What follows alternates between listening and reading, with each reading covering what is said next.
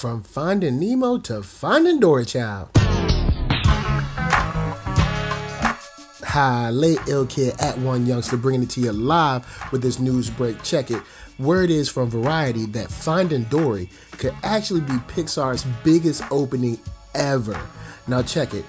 They're saying that Finding Dory is actually on pace to give Pixar the biggest opening in its history when it hits theaters on June 17th. Now, check it. Finding Nemo, way back in 03, you know, really made a lot of money and it, you know, it ended up making a good amount of money in the theater and at home. But check it. They're saying that the sequel, which is Finding Dory, is supposed to be opening between 115 and 120 million. Now, I ain't going front. That's like Star Wars numbers, bruh. Like y'all, y'all are real. Y'all, y'all hoping on this joint. Now check it. Sean Roberts, who's actually a um, a senior box office analyst, says that quote We're pretty bullish on it.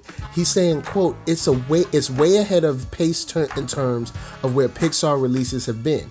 Given Finding Nemo's success and the modern classic, it's going to be huge. Now, regardless of it being huge, in my opinion, 120 is still a lot to put on a movie, man. I mean, I love Dory.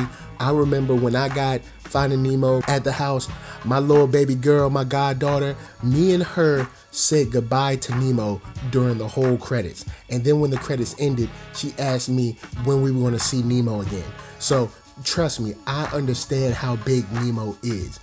But 120 million is a that is a large mountain to climb.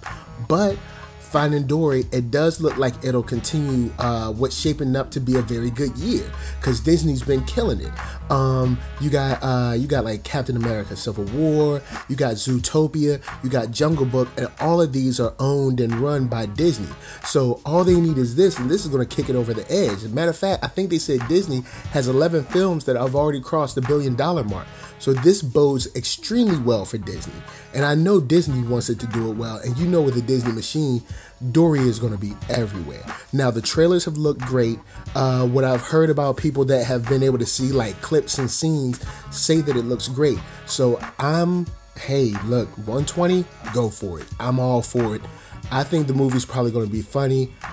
I'm excited to get back in the theater. I haven't seen Nemo in a while, and I sure haven't seen Dory in a long while. So let's see what happens, y'all. Look, is it gonna get your butt out the seat? Are you gonna contribute to this 120 million? I hope so, because they need to climb that mountain, and they can't climb it without us. anyway, y'all, y'all stay real. Peace. VA, LA, do your thing. Out.